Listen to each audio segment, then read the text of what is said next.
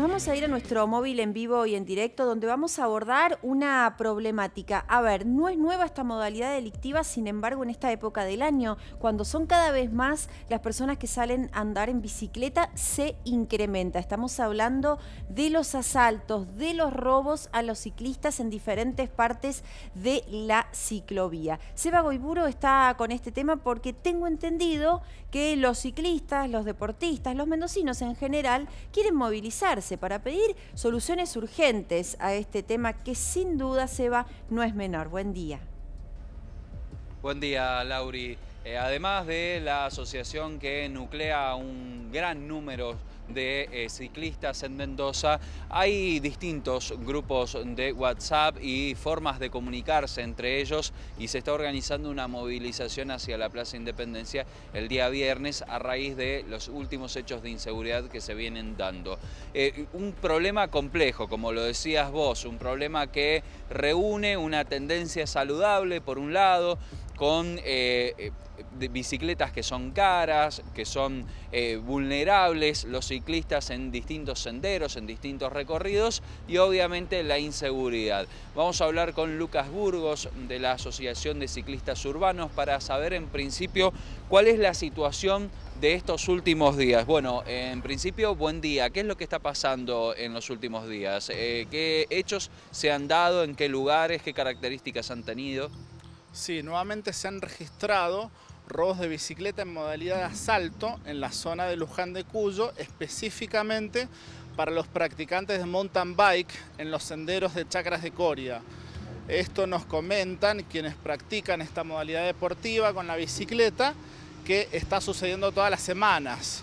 ¿Por qué ha sido noticia? Porque el asalto a tres eh, practicantes de la disciplina del mountain bike ha sido con escopeta recortada, y les han robado bicicletas, eh, celulares, hasta la indumentaria que llevaban, así como sucedió meses atrás con el periodista Andrés Gabrieli, con un hacha, nuevamente está eso, el temor y, y esa vida que entra en juego en una zona que se ha transformado liberada y que eh, hay muy poco personal policial, es lo primero que llamamos, eh, la atención de que realmente hace falta un mayor compromiso de la policía de Mendoza. Estamos tomando contacto también con el municipio. Otra alternativa es elaborar un plan de gestión que puede especificar días y horarios para la práctica. En algún momento se habló de eso, ¿no? de la coordinación entre eh, municipio, policía, ciclistas. En algún momento incluso se había logrado hablar de un sendero seguro allí en Chacras, pero al parecer esto se ha modificado. ¿Qué es lo que pasó en, este tiempo?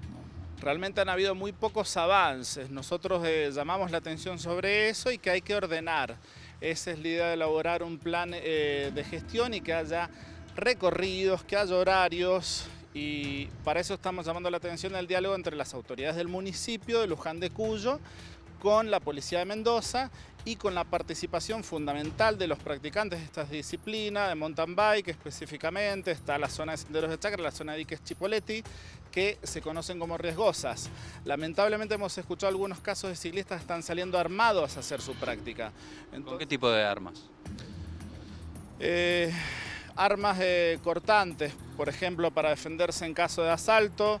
Nos gustaría decirles que no, realmente están eh, cansados algunos ciclistas de los robos que han sucedido a otros compañeros y llamamos la atención simplemente para no queremos que haya una tragedia y que esto que es algo positivo y que hace bien al ambiente, a la salud, lo puedan hacer más personas, hombres, mujeres, independientemente de su eh, estado socioeconómico, estado físico, hace falta mayor presencia policial en la zona básicamente. Burgos también asumen que eh, hace falta responsabilidad también por parte del deportista. Digo porque muchas veces eh, lo suelo ver en, en distintas calles, la posibilidad de que van personas solas, personas descampadas, obviamente en una situación ideal no deberían tomar esos recaudos, pero son doblemente vulnerables si no toman responsabilidad. Eh, ¿Se hace algún tipo de mea culpa? ¿Se hace algún llamado a los ciclistas?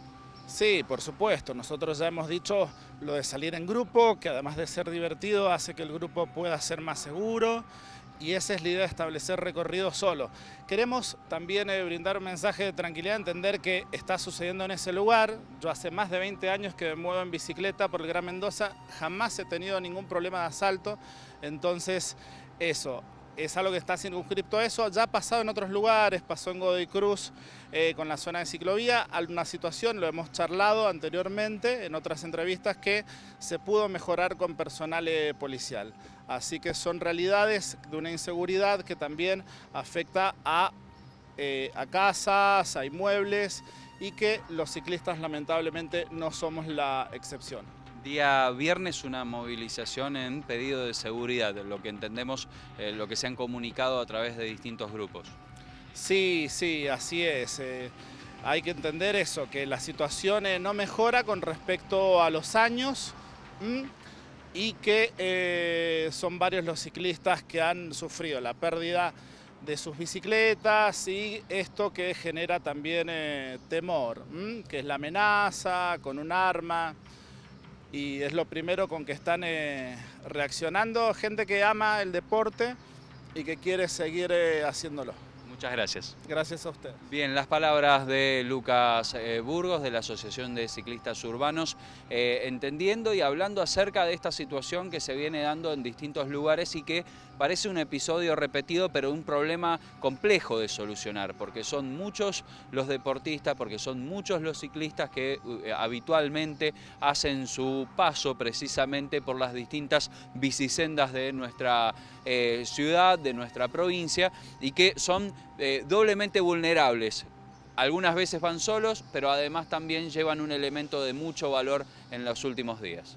Claro que sí, Seba. Y no es menor lo que decía Lucas, porque nosotros eh, hemos ido a cubrir varias protestas y hechos de inseguridad en relación a los ciclistas. Ahora él lo está diciendo y lo está confirmando.